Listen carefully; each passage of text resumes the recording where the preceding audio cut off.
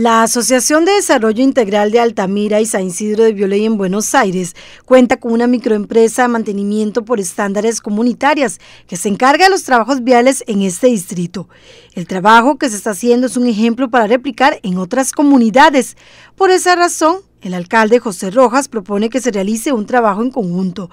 La intención es que por medio del pago por el mantenimiento de aseo de vías de la municipalidad se asignen recursos Además, se tenga el apoyo del Instituto de Desarrollo Rural, DINADECO, ELINA y otras instituciones se sumen. Bueno, lo que yo propongo es que eh, sea un, trabajo conjunto entre las municipalidades a través del el cobro de tasas por el mantenimiento de vías, la incorporación del el INDER para que, pueda para que pueda darles todo lo que es el capital semilla en equipo, el DINAECO para que pueda fortalecerlos en vehículos eh, y además de eso el INA o algunas universidades que los capaciten en diferentes eh, trabajos que se pueden desarrollar. Esta empresa, por ejemplo, está, ya, está en SICOP, está al día con Hacienda, está al día con la caja, está al día con las pólizas del INS.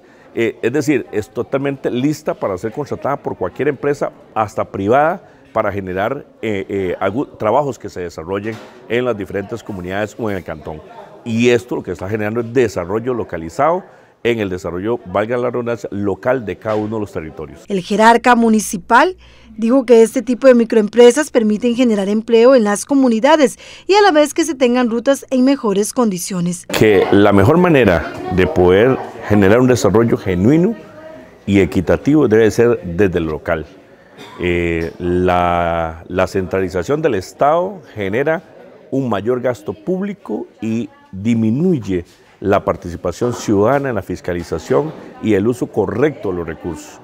La MMC, que dirige una asociación de desarrollo del Distrito de representa lo, que, lo deseado por una buena administración de recursos.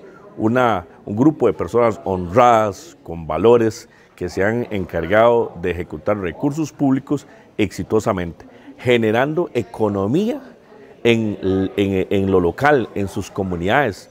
Por ejemplo, esta asociación le genera una economía de más de 3 millones de colones mensuales a este distrito en salarios. Si esto lo contratara, como lo hace el MOP, por ejemplo, desde el gobierno central, o lo hacemos desde las municipalidades, por ejemplo, con una empresa, se traen los funcionarios y los trabajadores de otros sectores, se llevan, hacen los trabajos, se llevan los recursos y no cuidan y no lo hacen con el mismo cariño y amor que lo hace esta organización. Esto es lo que Costa Rica necesita.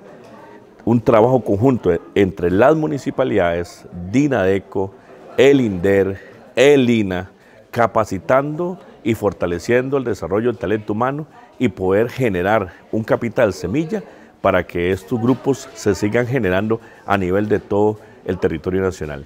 El alcalde de Buenos Aires espera que esta iniciativa se pueda replicar en otras comunidades.